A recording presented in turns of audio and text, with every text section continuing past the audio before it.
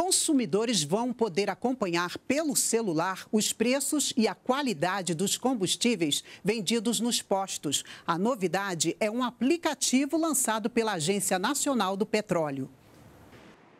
Os motoristas terão mais uma ferramenta para pesquisar preços de combustíveis. A partir de 1 de janeiro, estará disponível o aplicativo ANP no Posto, que vai mostrar os preços e qualidade dos combustíveis comercializados. A ideia é aumentar a transparência no setor. O aplicativo vai começar em fase de testes. Vai ajudar o motorista a comparar o preço nas bombas e também a encontrar o posto de combustível mais próximo. Acho importante, se é bom para a população, que seja bem-vindo, né? Ajudar o país. Usaria sim, sem problema.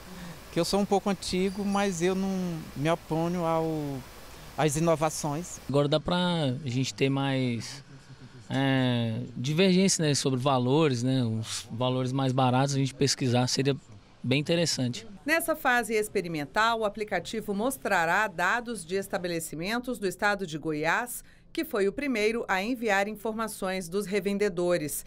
A partir de 20 de janeiro, as atualizações serão semanais e a ideia é ampliar para todo o país. O app desenvolvido pela Agência Nacional de Petróleo, a ANP, vai ajudar a garantir a concorrência no mercado de combustíveis que tem os preços livres. O aplicativo é de graça e vai estar disponível nas plataformas Play Store e Apple Store.